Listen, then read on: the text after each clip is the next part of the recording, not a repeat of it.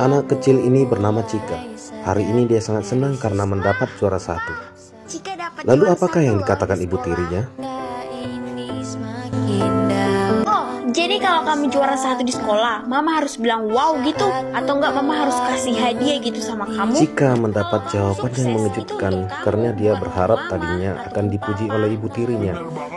Bahkan secara mengejutkan ayahnya pun mendukung ibu tirinya.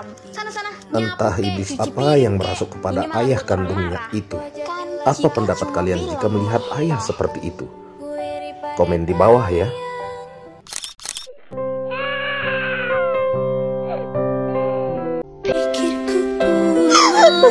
Mama, Cika rindu mama.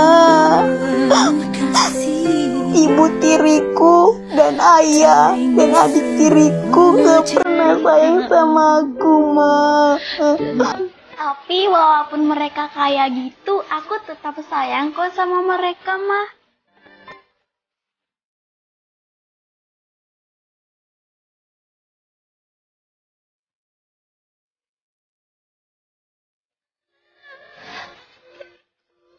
Aku pulang dulu ya, mah.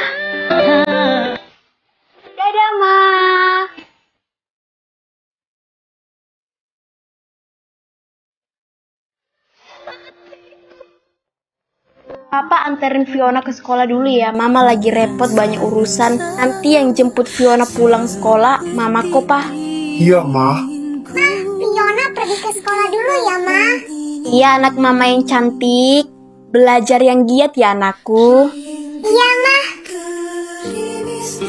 Cika, ngapain kamu ikut? Yang diantar itu cuma Fiona, bukan kamu. Kalau kamu itu jalan kaki lah ke sekolah. Ngapain kamu ikut? Nanti mobil papa kotor lagi kalau dinaiki sama kamu. Tapi, mah, pa, ini kan masih hujan. Mama sama papa nggak peduli lah mau kamu basah, mau kamu mati, mau kamu kayak mana pun, mama sama papa nggak peduli. Sekarang kamu udah paham kan? Ya udah, mah, pa, aku jalan kaki aja. Entah kau di sana merasa yang sama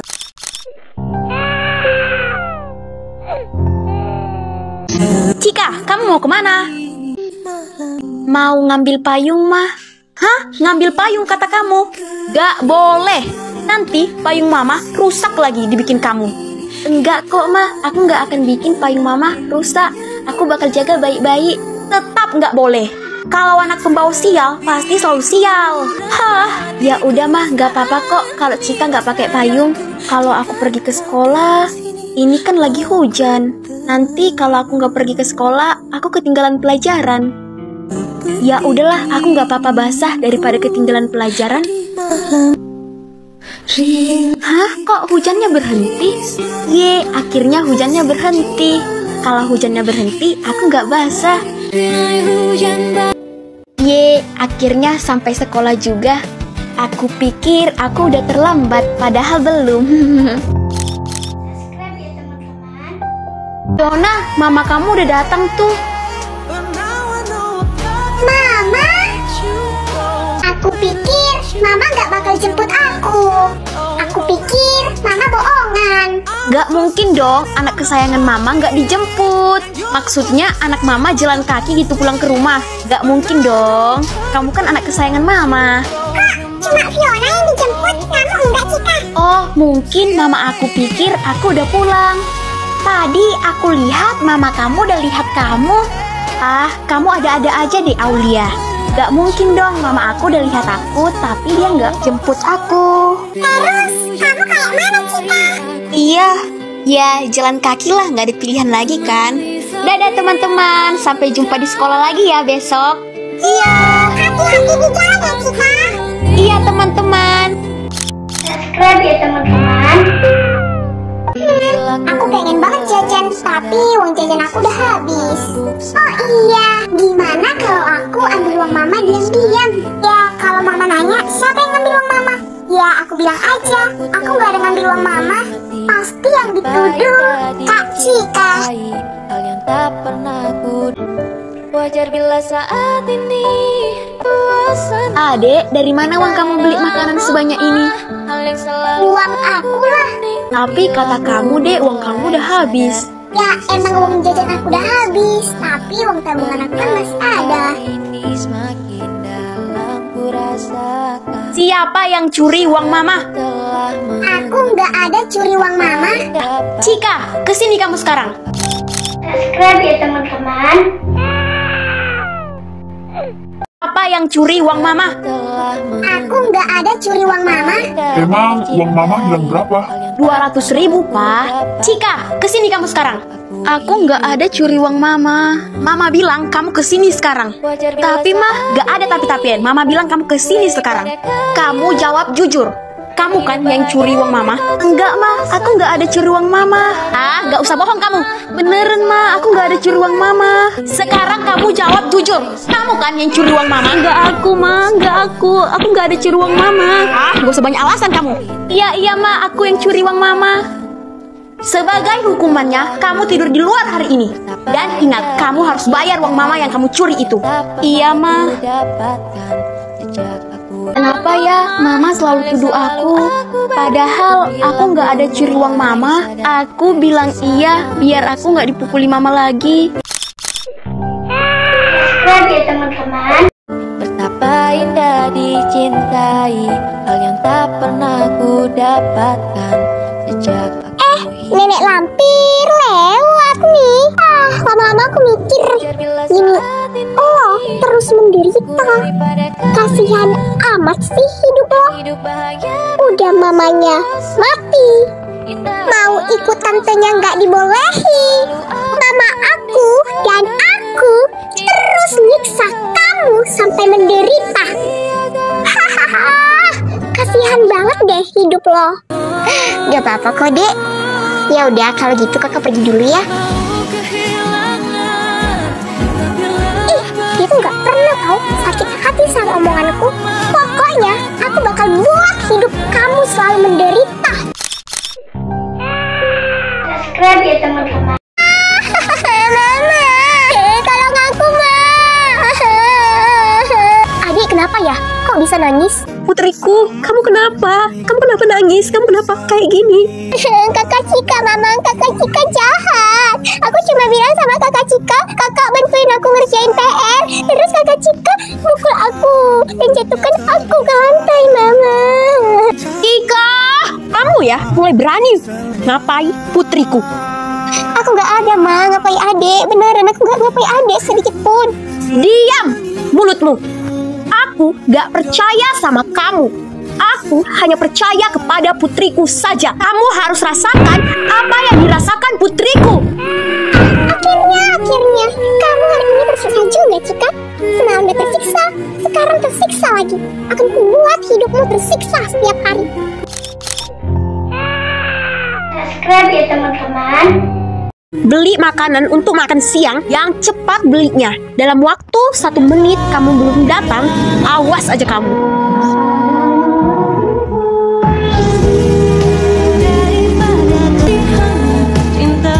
Duh, capek banget. Tapi aku nggak boleh nyerah, aku harus tetap beli.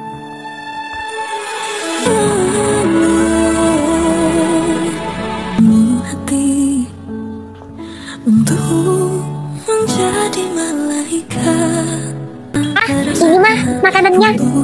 Boleh nggak nggak manggil saya itu mama? Saya jijik dipanggil mama sama kamu. Mulai hari ini kamu panggil aku kalau lagi nggak ada papamu, panggil aku bos. Oke bos, aku bakal melakukannya. aku bertahan Subscribe ya teman-teman.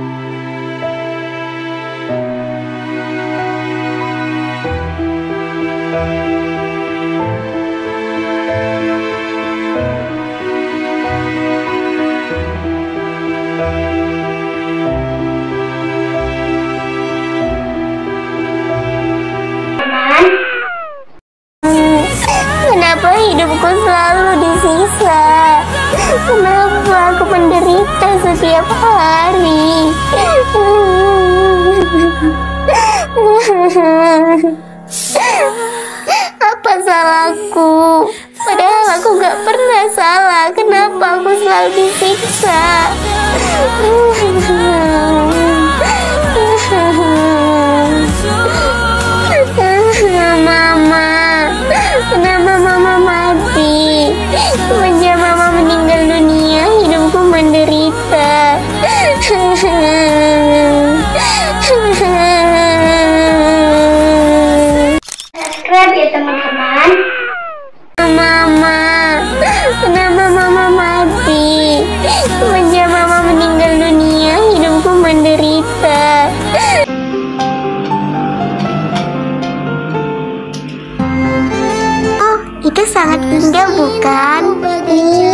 putriku, sama seperti putriku yang cantik sekali dan baik hatinya. Putriku, ini hadiah untukmu. Terima kasih, ayah dan ibu. Ayah dan ibu memang baik banget. Ah, hati-hati nak, awas jatuh. Iya nak, hati-hati. Oke, mah, pa. Kejar aku sampai dapat ya, mah, pa. Dengan kasih sayangmu Betapa kau sangat Subscribe ya teman-teman. Aku kerja apa ya? Kalau aku nggak kerja, aku nggak bisa kembalikan uang mama yang hilang itu. Hmm, oh iya, kan buah apel di depan rumah kan udah masak. Gimana kalau aku jual buah apel aja? Hujan basah yang mengendap Tinggal dijual deh buahnya. Buah apelnya bu, pak. Dek, beli buah apelnya 50.000 ribu ya dek. Iya bu, tunggu bentar ya bu. Ini bu, buah apelnya. Dek, ini uangnya ya. Makasih ya bu. Dek, beli buah apelnya 50.000 ribu ya dek. Dek, beli buah apelnya 50.000 ribu ya dek. Dek, beli buah apelnya 100.000 ribu ya dek. Ini untuk kamu dek. Enggak kak, udah dek, terima aja. Ini udah rezeki kamu. Makasih ya kak. Iya, ya udah kakak pergi dulu ya. Iya kak, hati-hati di jalan ya kak. Iya dek. Teman-teman. Dari mana aja kamu? Eh, eh, lo nggak usah kegeeran ya. Gue nanya lo dari mana, bukan karena gue peduli. Suka-suka hati lo mau ke mana, gue nggak peduli. Tapi sebelum kamu pergi ke mana pun, setel rumah, nyapu rumah, cuci piring, cuci kain, nyetrika kain, pokoknya semua pekerjaan rumah. Kamu kan udah tahu apa kerja kamu. Aku lama pulang mah karena aku jualan supaya bisa ganti rugi uang mama yang hilang itu. Jualan kata kamu, emang kamu jualan apa? Jual buah apel mah, aku lihat buah apel kita udah pada matang-matang. Jadi aku jual deh mah, supaya biar bisa ganti rugi uang mama yang hilang. Oh, jadi gara itu kamu lama pulang. Iya mah, ya udah kamu sana mandi, setelah mandi kamu makan, setelah makan kamu tidur. Biar bisa jualan besok. Iya mah.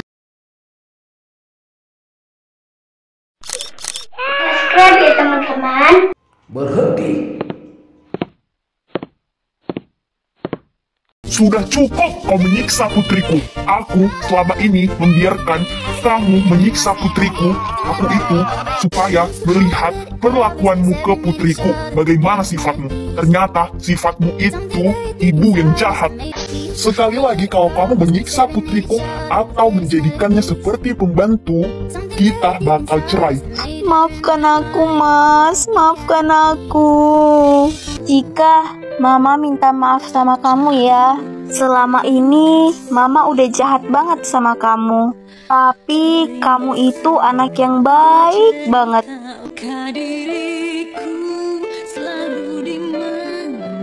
Aku dari dulu udah maafin Mama kok. Walaupun Mama jahat sama aku, aku tetap sayang kok sama Mama.